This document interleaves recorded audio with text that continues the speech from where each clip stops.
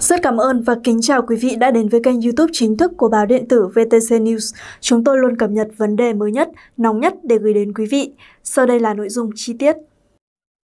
Hôm 23 tháng 7, Phó Thủ tướng Trần Lưu Quang ký quyết định số 707 của Thủ tướng về việc phê chuẩn kết quả miễn nhiệm chức vụ Chủ tịch Ủy ban Nhân dân tỉnh Bắc Ninh nhiệm kỳ 2021-2026 đối với bà Nguyễn Hương Giang.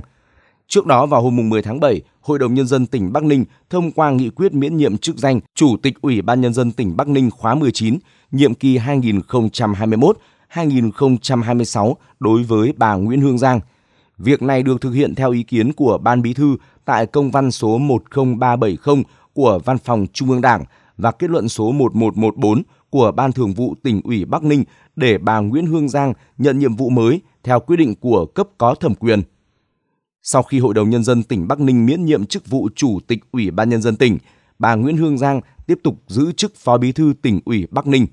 Đến hôm 15 tháng 7, Ban Thường vụ tỉnh ủy Bắc Ninh phân công bà Nguyễn Hương Giang, Phó Bí thư tỉnh ủy, đảm nhiệm Phó Bí thư thường trực tỉnh ủy. Bà Nguyễn Hương Giang, 55 tuổi, giữ chức Chủ tịch Ủy ban Nhân dân tỉnh Bắc Ninh từ tháng 11 năm 2019.